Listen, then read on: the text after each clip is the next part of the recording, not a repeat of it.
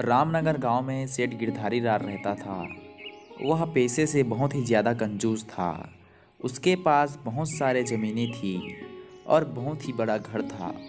लेकिन वह इतना ज़्यादा कंजूस था कि वह गरीबों की ज़मीनें हड़पता रहता था।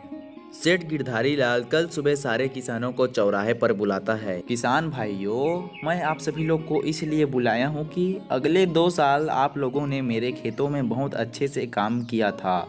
उसके कारण मेरे खेतों में बहुत अच्छे से फ़सलें हुई थी। लेकिन मैंने आप सभी को दो सालों का पैसा नहीं दिया हूँ। इसलिए मैं आप सभी लोग को पैसा दे दूँगा। लेकिन इस साल के बाद, इस साल भी कृपया आप मेरे खेतों में अच्छे से काम कर लो। देखिए सेठ गिरधारी लाल, आप इस गाँव के बड़े सेठ हैं तो हम आपकी इज़्ज़त करते हैं। लेकिन आप अगले दो सालों से वैसे ही बोल रहे हो। हम किसानों ने आपका बहुत सारा काम किया, लेकिन आपने हमें एक रुपया भी नहीं दिया। भला हमारा भी परिवार है। जब आपका काम होता है तो हम गरीबों से चिकनी चुपड़ी बातें कर कर काम करा लेते हो। लेकिन पैसे देने के समय आप मुँह फेरते हो। कृपया हम आपका काम नहीं कर सकते। हमें दो सालों का पैसा वापस दे दीजिए।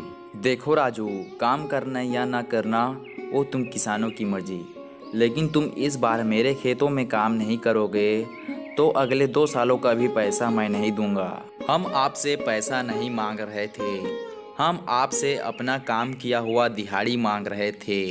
वैसे भी हम आपका काम करेंगे तो आप ऐसे ही चिकनी चुपड़ी बातें कर कर हमारा पैसा आप नहीं दोगे। हम इस साल आपका काम नहीं करेंगे। और अगले दो सालों का भी हम आपसे पैसा नहीं लेंगे। इसे आप भीख समझ लो। किसानों की बात सुनकर सेठ गिरधारी लाल थोड़ा दुखी ज़रूर होते हैं, लेकिन वह मन ही मन बहुत खुश थे, क्योंकि उसके बहुत सारे पैसे बच गए थे। अगले दिन सेठ गिरधारी लाल के घर में एक साधु जी भीख मांगने के लिए आते हैं।